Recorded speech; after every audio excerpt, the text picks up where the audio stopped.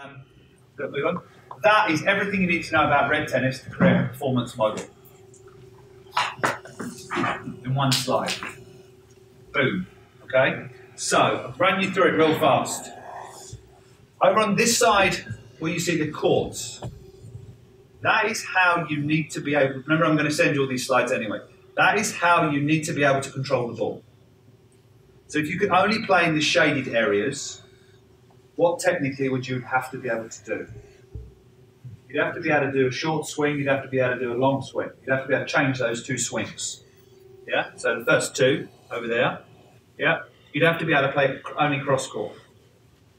And then you'd have to be able to play from this side to change the direction of the ball. So if you're on this one here, you would be changing the direction of the ball. Yeah? So these would be the core skills based on what the court's about. So if you can do those things, those are your core um, focuses in terms of directionals, if you want to call it that, or just ball controls within the court. You need to receive them in those spaces, send them in those spaces, yeah, and be able to control those spaces of the court. You can do that pretty well, right? You'll be good. These are the areas you need to be able to impact the ball, based on the way the ball behaves in flight, based on the movement patterns that you've got approach. So pretty much most of the stuff you do in red, you're going to impact here and here. You don't hit many balls up here.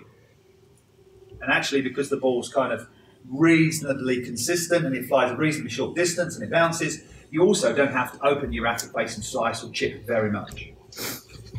You've got that good, nice knee and waist impact point, and that's solid. You can do that really, really well. Yeah, those are the areas you have to be able to hit.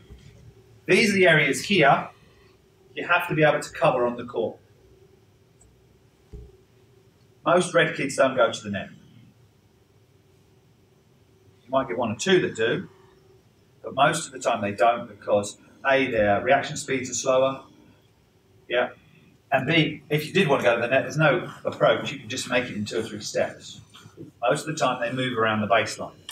So this involves move, stop, balance. All right? Down here is then the way that kids think. Right? So this little symbol just means I need to be able to control spaces and the core. If I'm really good, I also start to be able to control time, which is why that's kind of a little bit shaded down. See that? So that's so if you understand that, direct the ball there, technically impact the ball there, move like that, and control the core. That's our big focus on red. That's the building blocks. All right? And that's where you should be focusing on. Now, if you're talking about performance, and we are talking a little bit about performance this time, or at least player development, you're going to have um, musts, shoulds, and coulds. So your musts are those things on the screen. Every kid, before they leave Red, should be able to do all those things. And if you don't, it's like you're going to build an upside down pyramid. If the base isn't big enough for the first bit, when you try and go further this way and then further this way, the whole thing's going to topple over and fall apart.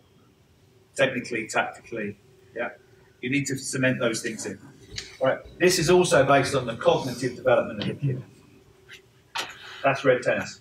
All right. So we're going to go on the court and we're going to take you through all the things, how you bring that to life, how you how you teach them to move, yeah, where those technical impact points would be, what drills you do there, and what this really means.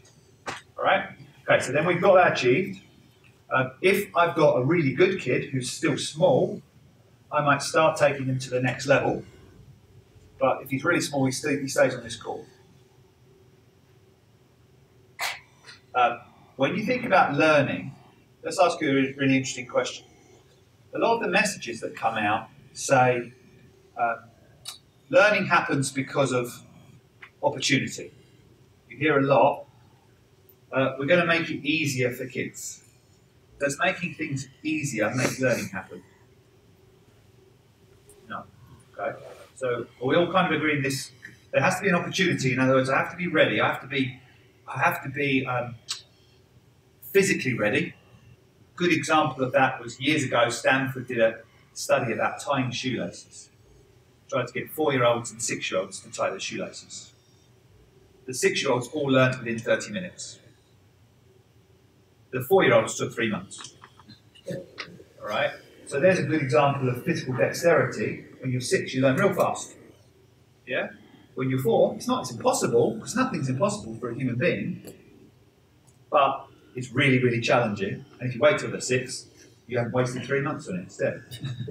See that? So that's a little bit of a part of this. We're always in a hurry and in a rush.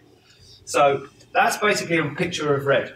So we've got must, should, and could. So on the must, those are the musts. On the should, if we have a good kid who comes more often, three, four times a week, we might push them onto some of the next skills that are in orange. And then we have the coulds. Now, the could is the kid who walks in on the first day, and your only question is, shall I phone IMG or shall I phone Octagon? Yeah, they're just the phenomenon you've never seen before like that. But you can't fit them into the mainstream uh, principles of what you're trying to teach. They're always going to be the outlier. They're always going to sit on the outside. So you can teach those kids anything.